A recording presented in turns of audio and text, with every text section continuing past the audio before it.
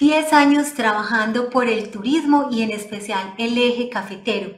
Estoy con Fabio Castaño Molina, él es el director de la revista turística y cultural Destino Café. Fabio, con la bienvenida, cuéntanos cuándo y cómo nació Destino Café. Viane, muchas gracias. Saludo muy especial desde Pereira, desde esta hermosa región declarada por la UNESCO como Patrimonio Cultural de la Humanidad. Que cómo nació Destino Café, nació Destino Café de una gran oportunidad Después de 20 años de estar en RCN Radio aquí en la capital de Risaralda, los últimos días como director de noticias de RCN, vi una gran oportunidad y vi que esa declaratoria por allá en el año 2011 de la UNESCO nos daba también la posibilidad de mostrar esta, esta zona. Yo le confieso, hace muchos años me gradué en la Universidad Jorge Tadeo Lozano y mi tesis de grado fue una guía turística. Y ahí vi la oportunidad, entonces ya había asistido a varias vitrinas turísticas de Anato con otro medio y nació la oportunidad de crear esta publicación tan hermosa. Está llegando ya a su edición número 99, estamos a puertas de llegar a la número 100 y ahí salió una oportunidad maravillosa para promocionar en inglés y en español nuestro paisaje cultural cafetero, 47 municipios de Calda, Risaralda, Quindío y Norte del Valle del Cauca. Muy complacidos en este sentido. Fabio, y ha sido muy bonita esta labor que has hecho en estos municipios. Cuéntanos cuál es el impacto que ha generado la revista. Bueno, Vianet, sobre el impacto que ha tenido Destino Café, déjeme decirle que ha sido maravilloso.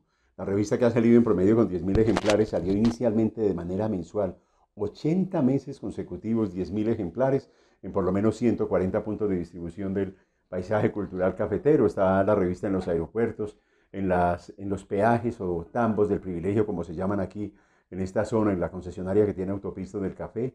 La tenemos igualmente en restaurantes, en museos, en parques temáticos y el impacto maravilloso porque hemos tratado de que la revista sea muy útil, se ha vuelto muy necesaria, que hay información clave de los destinos, de la gente de poder llegar y no solamente eh, conocer, porque hay textos en inglés para los extranjeros, se facilita, dónde pueden alquilar un vehículo, el pico y placa de las tres ciudades. La clave es que la revista sea muy útil y de eso nos hemos preocupado muchísimo, destacando los lugares, hablamos de biodiversidad, de sitios de encanto, hablamos igualmente de personajes, la agenda de eventos que tiene la razón la, región mejor. Es una forma de promocionar y el impacto, el impacto que ha tenido la revista como tal es que se ha vuelto muy necesaria.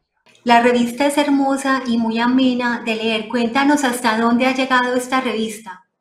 La revista, pues eh, geográficamente ha llegado a todo el eje cafetero, a estos 47 municipios que tiene el paisaje cultural cafetero, especialmente a través de los puntos de información turística denominados PIT.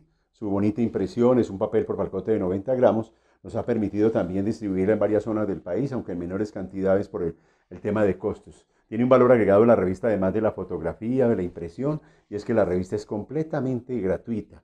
Ya hemos tenido la oportunidad de llevarla a cinco ferias en Estados Unidos, a tres versiones de la Colombia Trade Expo y a dos versiones de la Feria de Chapolera que se realiza en Nueva York. Igualmente hemos estado en dos oportunidades en la Feria de Fitur en España y hemos estado en muchos eventos a los que nos han invitado y eso ha permitido que la revista pues se posicione, que tenga un reconocimiento a raíz de la constancia permanente que nosotros hemos tenido. Ha llegado igualmente a eventos como ANATO, 11 ferias consecutivas a las que hemos asistido, a congresos nacionales y a todo evento que se realiza aquí en la ciudad de Pereira, en Armenio Manizales, ahí procuramos hacer presencia con nuestra publicación. Y es una realidad que la pandemia nos afectó a todos los medios de comunicación. Cuéntanos, Destino Café, cómo ha afrontado la pandemia y cómo ha evolucionado en medio de esta situación mundial.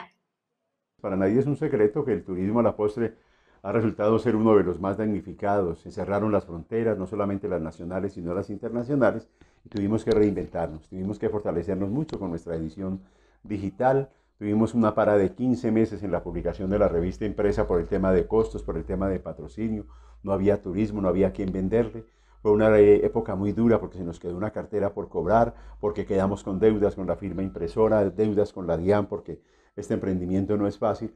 Sin embargo, fue una oportunidad para reinventarnos y para pensar cómo podíamos hacerlo y gracias a Dios sacamos cuatro ediciones digitales y ahí probamos que podíamos seguir sacándola. Nos hemos reinventado más a través de las redes sociales, con mayores Em, posibilidades, siendo más eh, constantes, utilizando mucho el tema del Instagram, aprendiendo el copyright, un poquito de SEO, de cómo lograr mayores alcances. Y ahí, eh, por lo menos en redes sociales, nos hemos visibilizado muchísimo y digamos que la revista ha tenido una permanencia, un reconocimiento permanente, una presencia que es reclamada de manera permanente por los habitantes de esta zona. Ustedes pueden ver las tipos de portadas, de fotografía, que las estamos visibilizando y la verdad es que ese impacto, la manera como nos hemos eh, reinventado, pues nos ha permitido salir a flote o adelante en medio de estas circunstancias.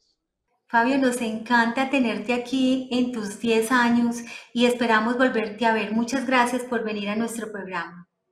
Vianel, muchísimas gracias. Decirles gracias a todos ustedes y decirles a los, eh, la gente de Antioquia y de todo el país que ve este programa Negocios en tu mundo, que vengan al paisaje cultural cafetero, que vengan y activen, que aquí se activan muy fácilmente los cinco sentidos, que este destino café es un destino lleno de vida, como tiene como lema el gobierno de Risaralda, pero yo creo que debe ampliarse a toda la jurisdicción. Muy amable por eh, permitirnos compartir y decirles a ustedes que hemos probado que en este año 2021, que estamos cumpliendo los 10 años de la revista, que sí se puede, que podemos seguir adelante en medio de las dificultades y que no es lo que nos pasa, sino lo que hacemos con lo que nos pasa, lo que realmente cuenta, y esas son las lecciones de vida. Este no es un eh, perder, ganar, sino un perder, aprender, como hemos aprendido esta lección aquí en Destino Café.